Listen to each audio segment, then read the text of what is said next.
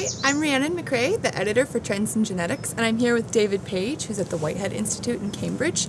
And he's going to tell us a little bit about the battle of the sexes, or at least the battle of the sex chromosomes. Um, so, can you give us, you know, just start maybe with just a very a brief history of the sex chromosomes, if you will? So, Sure. I'm XX, you're XY. How did we? Yes. How did? Where did the X and Y come from, Well- and how did we get to be?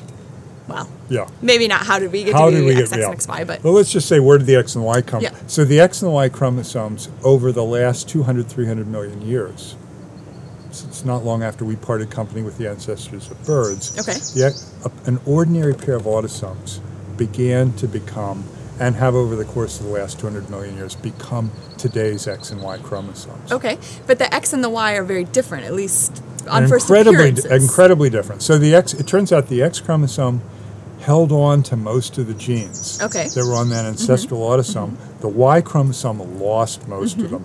It's just hanging on. The human Y chromosome today hangs on to about 17 Okay. of the almost 700 genes that were on that ancestral Okay, autosome. so is this continuing? You know, I mean, is the Y going to shrink and disappear altogether, or Well, or such has been speculated that the Y chromosome is going to disappear in maybe a few million years' time. Mm-hmm. But it actually looks, if we compare the human Y with the Y chromosomes of other primates, and you sort of look at the whole big picture, Mm-hmm. it becomes quite clear that the gene content of the Y chromosome is stabilized. Okay. It lost a lot of genes millions of years Mm-hmm. ago, but it's flying at a pretty steady but low altitude Okay. right now. okay? So you've got some recent results that actually suggest that there's maybe a lot more going on with the Y than Yeah. just sort of maybe what people traditionally think of its role in. So we've been learning a lot about the Y chromosome Mm-hmm. not only by looking at the human Y, but also by looking at the Y chromosomes of other of our mammalian relatives, like the mouse, Okay. for instance. And it turns out the mouse Y chromosome is actually four times the size of the human Y chromosome. And it has an, an outrageous amplification of a small number of genes.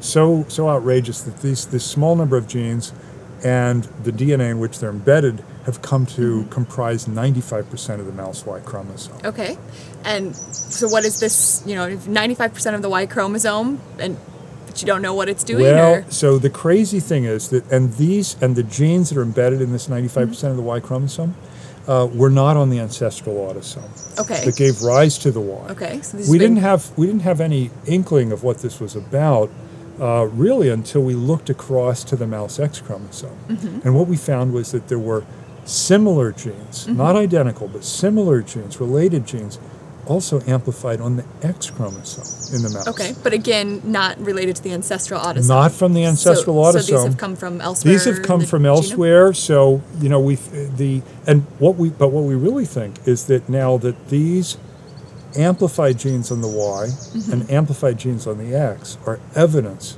of what we suspect is a pitched battle between the X and the Y chromosomes to be transmitted to the next generation. Okay. So we conventionally think of, oh yeah, it's 50-50 whether it's a boy or a girl Mm-hmm. yeah. in the next generation.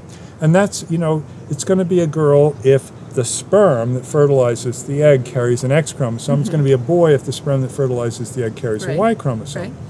But if you're if you're writing, if you're a Y chromosome or if you're an X chromosome, Mm-hmm. you might get some selfish ideas and say, next generation, I'd like to win. Okay, At the ex- yeah. I'd like to win more than 50% of the time at the expense of the other. Uh-huh. This is like a, a meiotic drive. This is a meiotic drive or segregation, Uh-huh. distortion, selfish chromosome behavior. Okay. I, as a chromosome, want to, Mm-hmm. um, I'm greedy. I want to win more of the time than my than my counterpart. Okay. And so these genes that Mm-hmm. are amplified on the Y or on the X, we think they're a kind of, um, uh, you know, we think that they have become combatants Mm-hmm. in this in this battle between the X and the Y chromosomes. We think they've been imported into the Y chromosome. We think they've been independently imported into the X chromosome. Okay.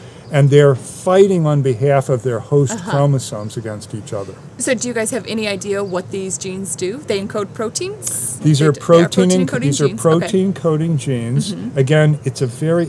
You have to realize these are. It's a very small number of proteins that are encoded Okay. by the by these genes on the Y. Very small number on the X, but they're they're present in literally like a hundreds of copies Uh-huh. on the Y chromosome, at least dozens of copies on the X Uh-huh the proteins they encode, by comparison to other known proteins the, uh, encoded by the genome, we think that these are involved in the processes of actually transmitting the chromosomes Okay, from so one generation almost to the next. mechanically. We think they're we think that they are that these are physically in, okay. Mm-hmm. we think these proteins are physically involved in binding to chromosomes and helping transmit them or maybe you know it's one possibility would be that Prevent- these are messed up versions of these things that Ah. could even potentially Oh, poison poison the other Evil. chromosome Battle of the sexes. right. Such a dirty fight.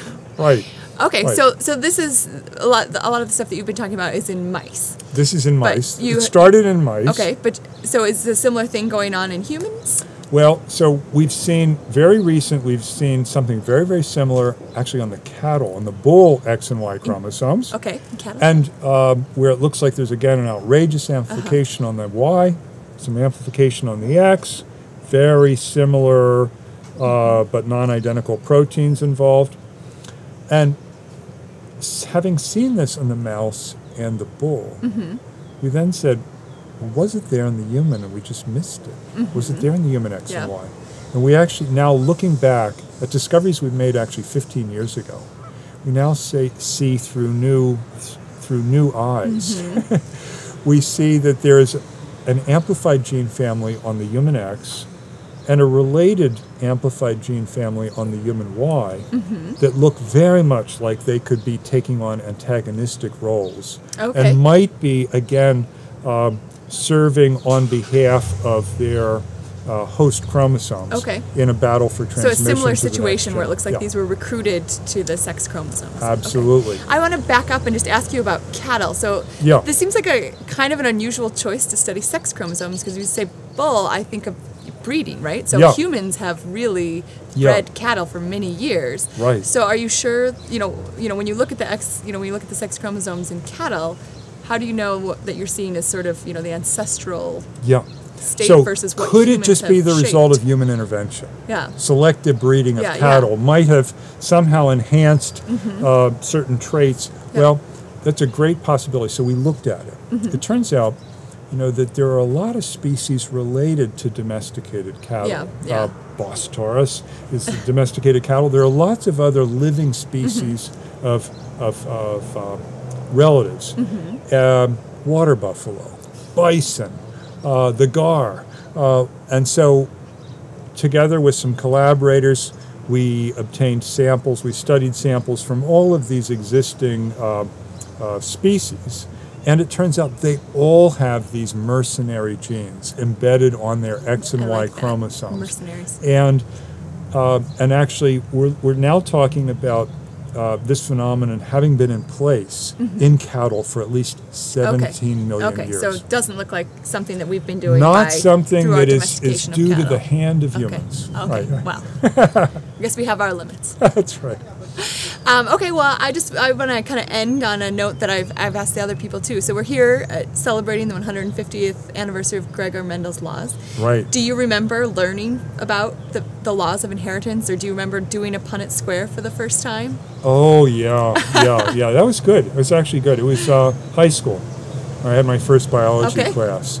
I thought it was pretty good stuff. I liked the math. You know, the arithmetic. Uh huh. Um, it yeah. has a nice logic Yeah, to it. Hardy Weinberg law, all that stuff too. You know, even beyond Mendel. And of course, the crazy thing is what I'm talking about now, with this battle between the Mm-hmm. Sexes, is basically about the X and the Y trying to bend the rules of Mendel. That's right? a neat way to look at because it. Yeah. Mhm. you know Yeah. basically when when when our sex chromosomes evolved what it meant was that we were mendelizing the the question of becoming Oh, a uh-huh, male or right, female right. you're making it Yeah. 50-50 Yeah. okay so this is really what i'm talking about are all these uh, species including ourselves sort of disrespecting the laws of mendel and trying to bend them in, in selfish ways All right. Thank you. thank you